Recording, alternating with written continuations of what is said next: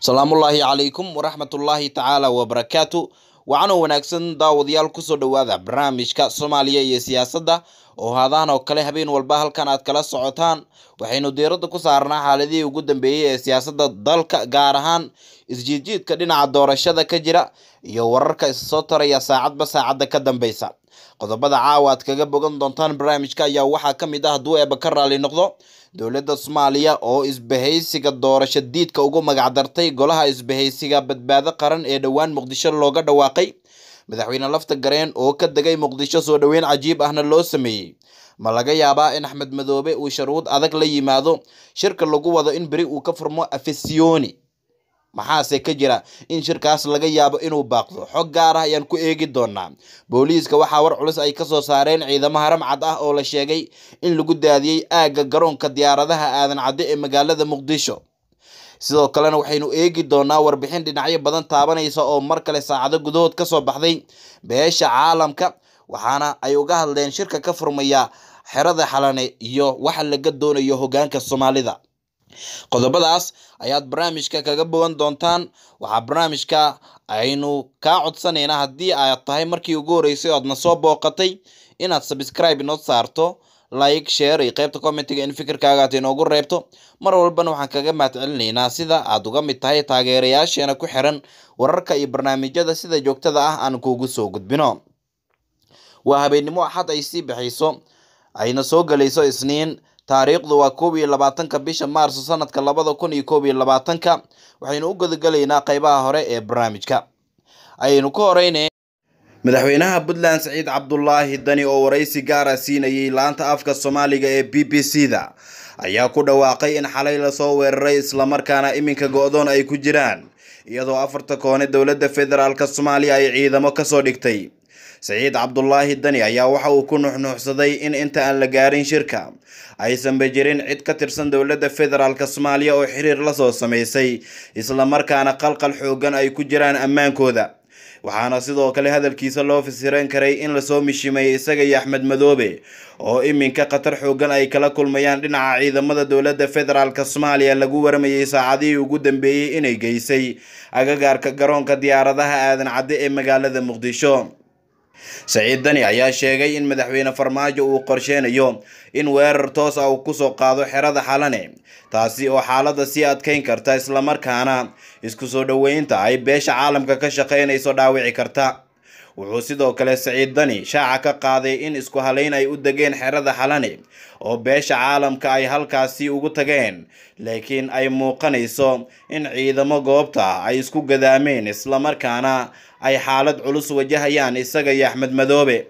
Lama oga sida ay ku baxsan doonaan haddii xaaladan dhab ay noqoto iyadoo madaxweyne maxamed cabdulaahi farmaajo uu xarash siyaasadeed aada u xoogan u hayo labadan hogaamiye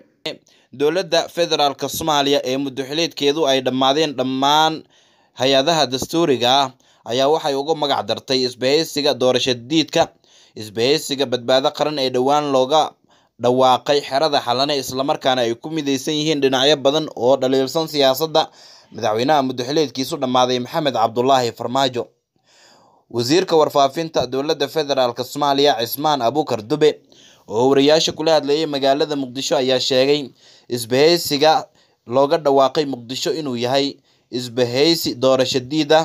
waxaana uu sheegay intaasi dowladda federaalk soomaaliya si weyn ay uga xun tahay.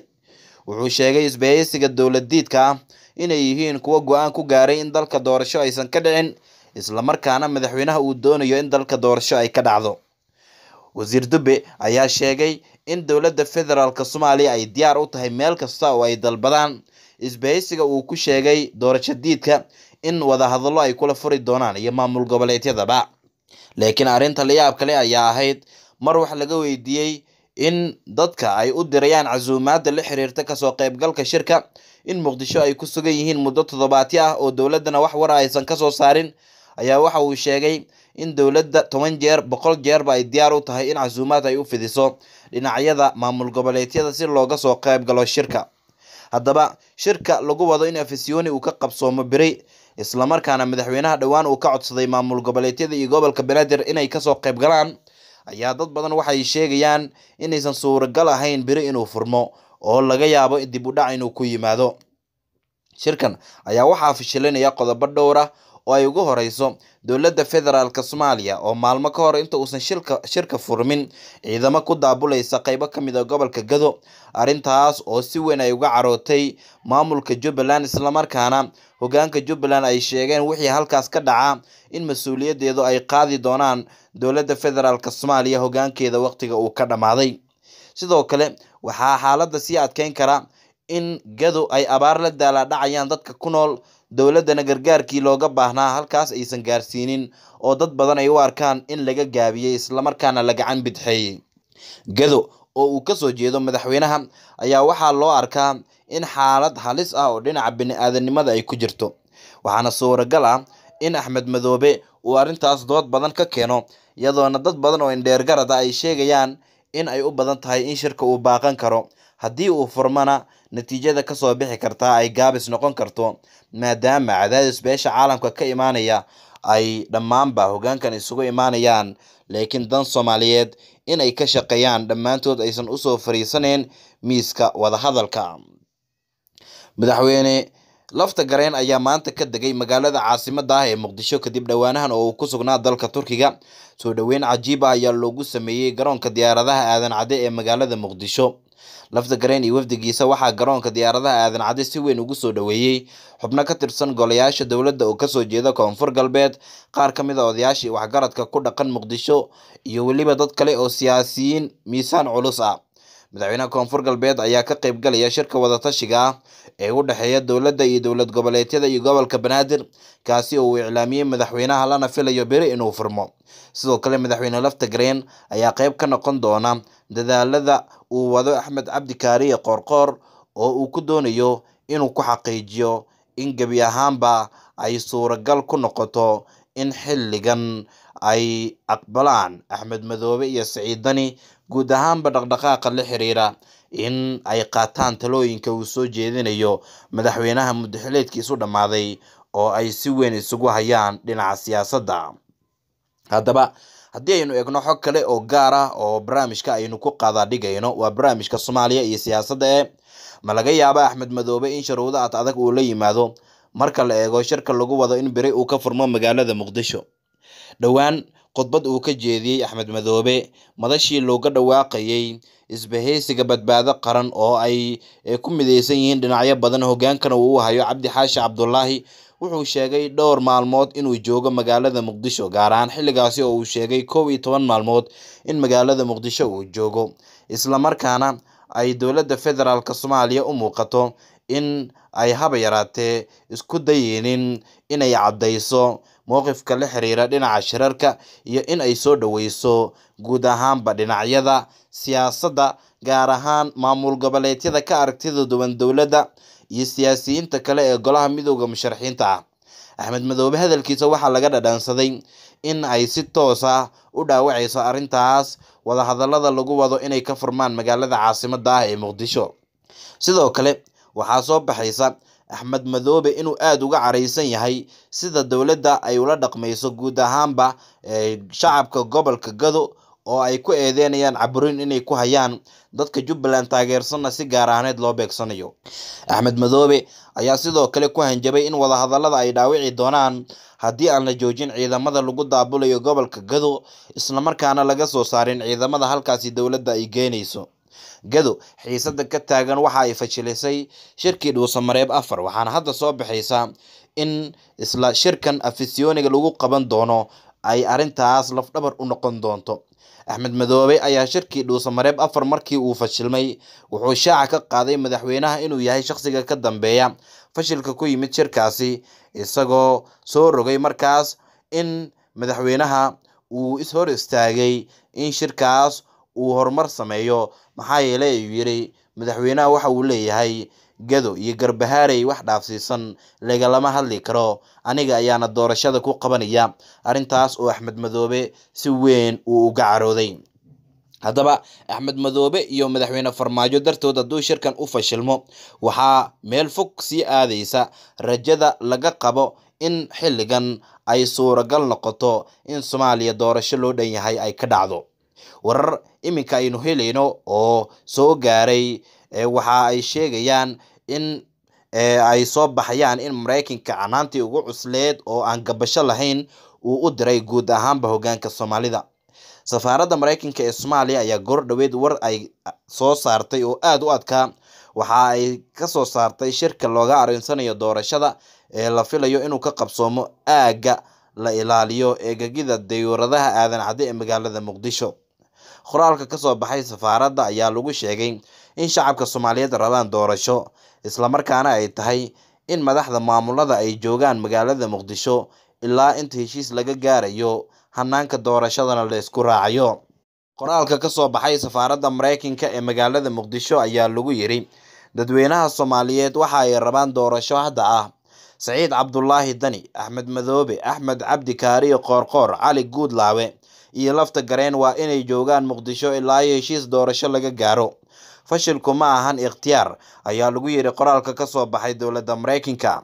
Amarkan oo u muuqda mid looga digayo in madaxda ku sugan magaalada muqdisho ay ka baxaan ka hor inta aan heshiis laga gaarin doorashada ayaa sii kordhinaya cadaadiska ay beesha caalamka ku saareyso madaxda soomaalida inay ku xaqiijiyaan in heshiis un laga gaaro dhinaca doorashada iyadoo madaxweynaha maamulka hirshabelle cali guudlaabe xuseen oo kaashanaya madaxweynaha maamulka galmudug axmed cabdi kaariyo qoorqoor ay sameeyeen dadaalo dhowr ah oo ay isugu dayeen inay ku xaqiijiyaan in shirkan uusan fashilmin. Inkastoo dhinacyada qaar ay soo saarayaan in xilligan walaac ay ka muujinayaan madaxweynaha iyo awooddiisa sida weli ugu dhaqmayo. Markana haddii aynu eegno saacado ka hor oo shalay gelinkii dambe ah waxaa magaalada muqdisho ka soo baxayay guux aada u xoogan oo salka ku haya in ciidamo haram cad ah lagu daabulayo aagga garoonka diyaaradaha aadan cadde ee magaalada muqdisho. Qaar ka mid a golaha midooda musharaxiinta ayaa walaac ka muujiyey iyagoo sheegay in ammaanka garoonka faraha uu ka bixi doono laguna carqaladeynayo ciidamadan halkaas lagu daadiyey shirka lagu wado in afisyooni uu ka dhaco taliyaha ciidamada booliiska soomaaliya jenaraal cabdi xasan maxamed xijaar ayaa ka hadlay arrintan oo saacadihii ugu dambeeyey aada walwal ay uga muujinayeen mucaaradka. Xijaar ayaa sheegay inaysan jirin wax ciidamo hor leh oo lagu daabulay garoonka aadan cadde kadib markii ciidamada booliiska soomaaliyeed uu saldhigga garoonka hoosgeeyey taliska qeybta guud ee gobolka banaadir kaasi oo markii hore ka mid ahaa saldhigyada madaxa bannaan ee tirada yar ee meelo badan oo dalka ka mid a ku yaalla waxaan xaqiijinayaa in hogaanka ciidanka booliiska soomaaliyeed aysan wax ciidamo cusub ah ama dheeraad ah ku daabulin garoonka aadan cadde ayuu yiri qoraal uu soo saaray taliya xijaar. Ciidamada booliiska soomaaliyeed kuwa amisom iyo kuwo kale ee amniga kala shaqeeya aagga loo qoondeeyey inay ku shaqeeyaan ayaa howlahooda shaqo ee maalinlaha ah ay ku qabanayaan ayuu yidhi. Hadalkan ayaa waxa uu noqon karaa mid ay si kale u dhigi karaan golaha midooda musharaxiinta oo walaac gaara ka qaba in weerar ay ku ekeeyaan ciidamada haramcad oo ay si weyn uga baqaan xilligan. Ugu dambeynna haddii aynu eegno qodobkeena ugu dambeeya barnaamijka soomaaliya iyo siyaasadda waxa uu noqonayaa beesha caalamka war kulul ayay ka soo saareen shirka lagu wado in beri uu ka furmo xerada afisiyoni islamarkaana looga hadlo xalka gaarista dhinaca doorashada beesha caalamka ayaa soo saartay warbixin ay ku xaqiijinayso in shirka madaxda dowladda iyo dowlad goboleedyada uu ka dhacayo aagga aadka loo ilaaliyo ammaankiisa ee xayndaabka xalane. Qoraalka ayaa lagu yiri saaxiibada caalamka waxay soo dhaweynayaan imaatinka ka qaybgalayaasha shir madaxeedka dowladda federaalk soomaaliya iyo hogaamiyaasha dowladaha xubnaha ka ah dowladda federaalk kaasoo lagu qaban doono aagga la ilaaliyo eegagida diyuuradaha caalamiga ah ee aadan cadde ee muqdisho